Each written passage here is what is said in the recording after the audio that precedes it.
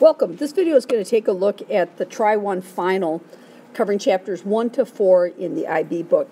And as you can see on the top of my key here, there were 14 multiple choice questions or paper 1 questions and then 23 marks on the paper 2 questions.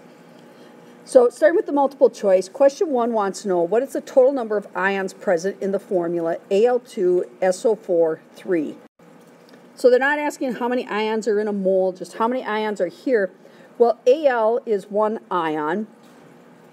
It forms a plus 3 ion, and SO4, sulfate, is my other ion at minus 2. So that means I have a total of 2 plus 3, or 5 ions being represented by that formula.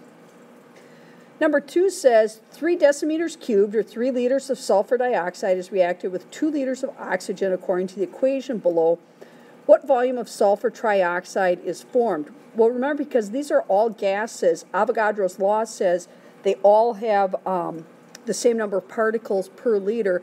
So you could either convert these to moles, although you really can't because you don't know the pressure and volume. But remember, your molar ratio is actually your liter ratio since they're all gases. So looking at how much SO3 each one could produce, the three moles or the three liters of sulfur dioxide uh, produce a one-to-one ratio or two-to-two ratio, so it would also produce three liters of SO3. But the two liters of oxygen only produ uh, produce twice as much. They produce two SO3 per one liter of oxygen, so they would actually produce four. So that means we're limited by the SO2 to just three liters of SO3.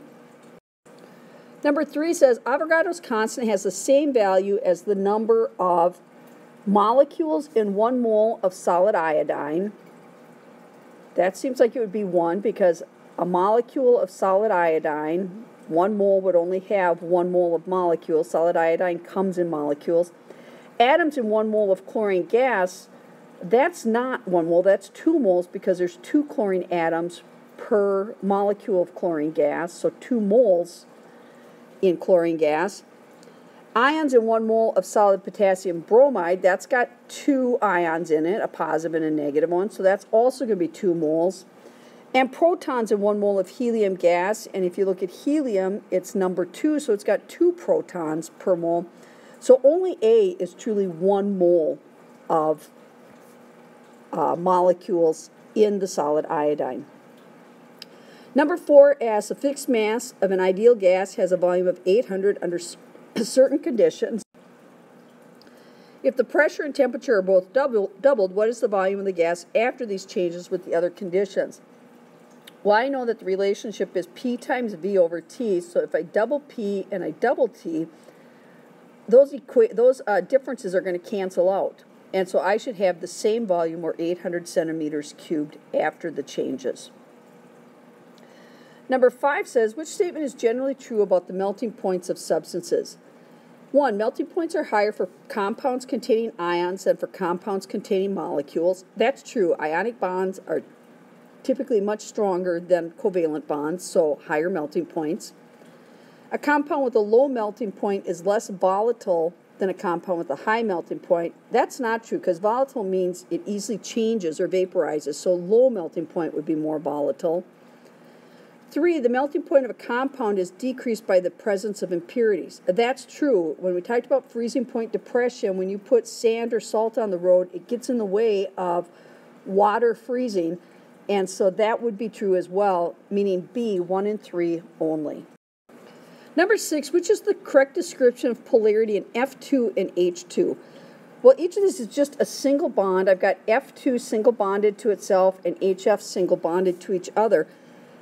But F2 is going to be a nonpolar bond and therefore a nonpolar molecule.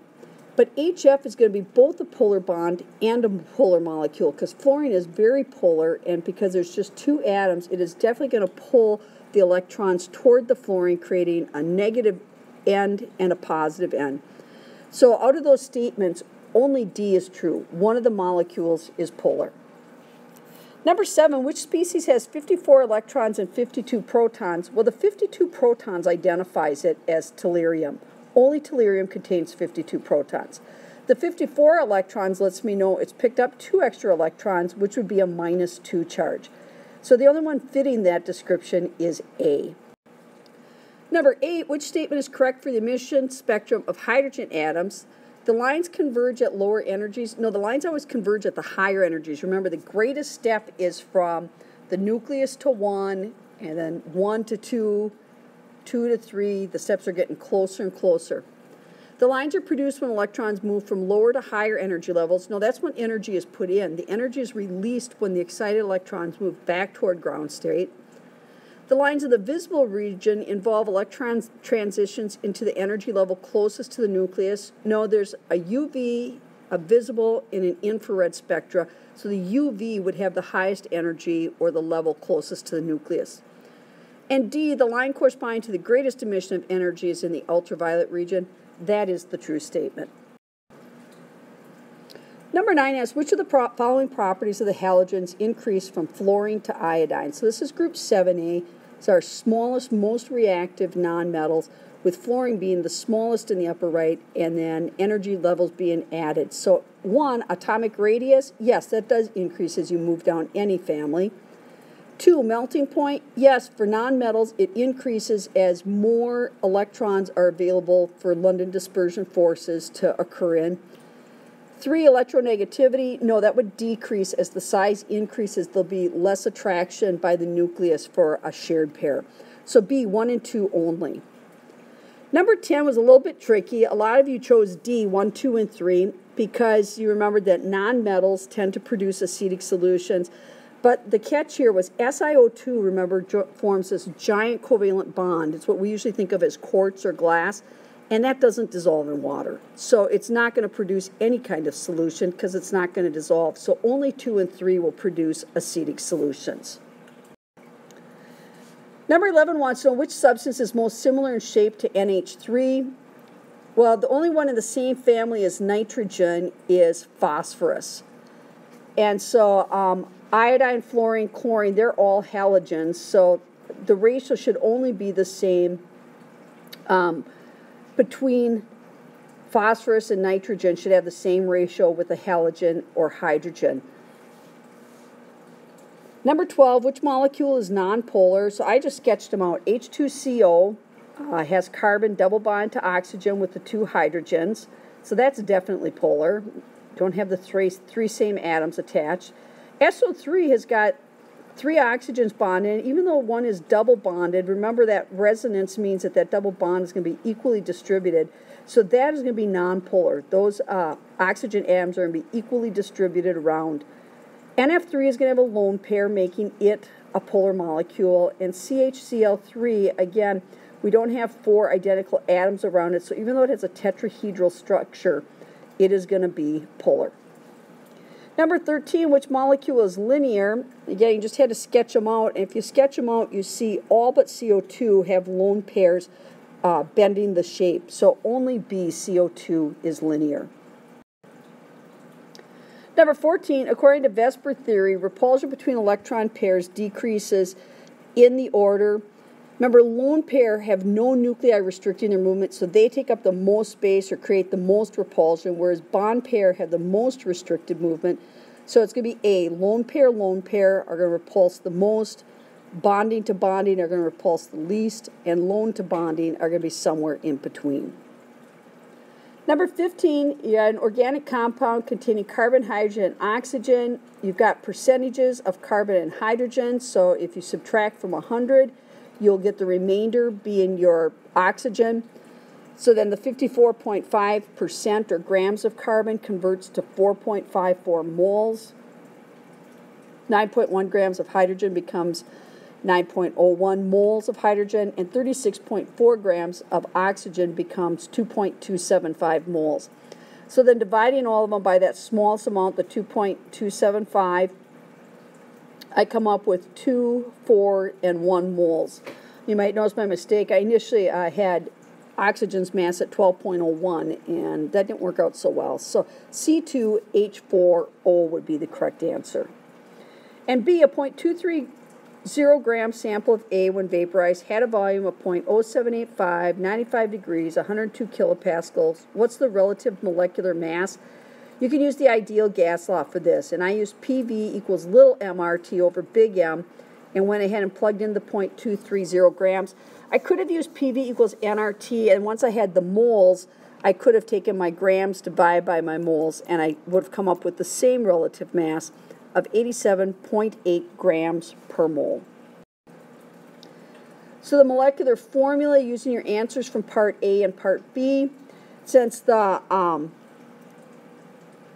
actual mass was just found to be right around 88 and the mass of the empirical formula is 44, that means I would have to double the empirical formula to C4H8O2. Number 16 wants to know a physical property that is different for isotopes of an element.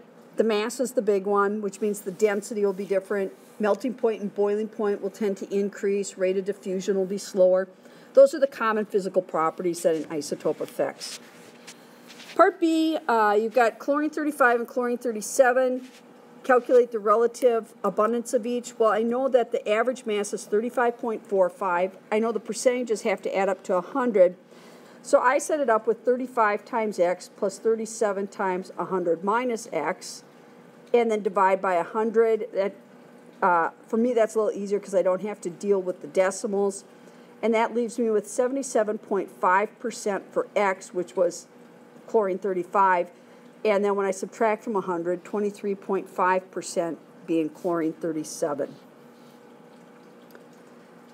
And number 17, with reference to the types of bonding present in period 3 elements, so you need to mention what kind of bond it is, and then you had to also explain the trend that they were talking about. So why Mg has a higher melting point than sodium? Well, they both have metallic bonds, and they have the same energy level, but Mg has a stronger nucleus to hold on to more delocalized electrons in that metallic bond. So it's a metallic bond, but Mg has a stronger nucleus and more delocalized electrons, which is going to increase the strength of that bond. Why does Si have a very high melting point? Because it can form four covalent bonds into a giant covalent structure, which means there's a lot of bonds to break and it's going to have a much higher melting point. And the other nonmetal elements of period 3 have low melting points, and that's because they're only forming weak covalent bonds or in the case of argon, no bond at all. So they're going to be very simple molecular compounds with the low um, London dispersion forces holding them together. Number 18 said arrange the following in decreasing order of bond angle, largest one first. So again, sketch them out, and you see that they all have a tetrahedral shape when you look at the electron domains, but NH4 plus has all four uh, domains are bonding sites, so it's equal repulsion, and they're a maximum distance of 109.5 degrees apart in a tetrahedral ar arrangement.